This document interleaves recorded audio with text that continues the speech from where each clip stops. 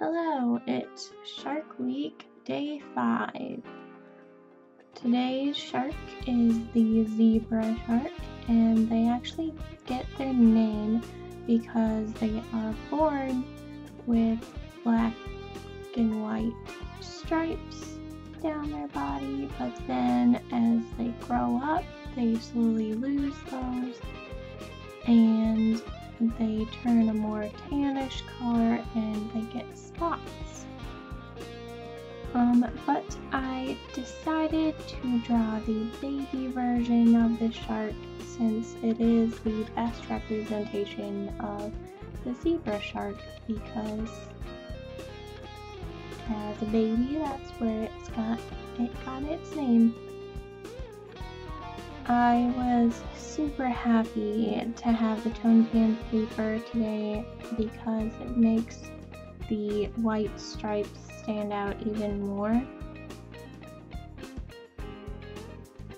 Um, so I've been uploading these drawings every day this week and I think the one thing that this challenge has taught me to do is to just get up earlier and just start drawing right away in the morning with my coffee instead of just putting off drawing until later in the day. Um, so I think that's kind of a nice change.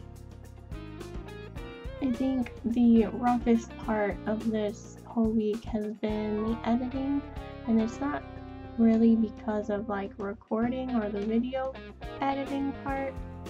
That's pretty easy, but finding the right music um, and also recording the audio and making sure that's clear and um, everything.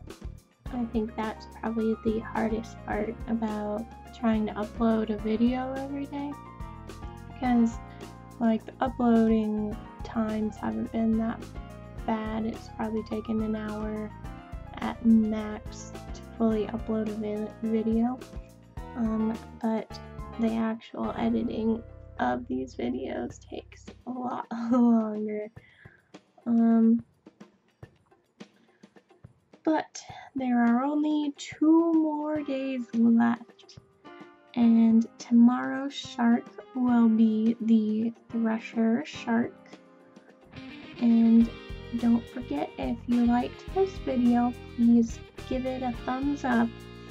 And if you are not subscribed, subscribe because there are still two more awesome days of drawing sharks.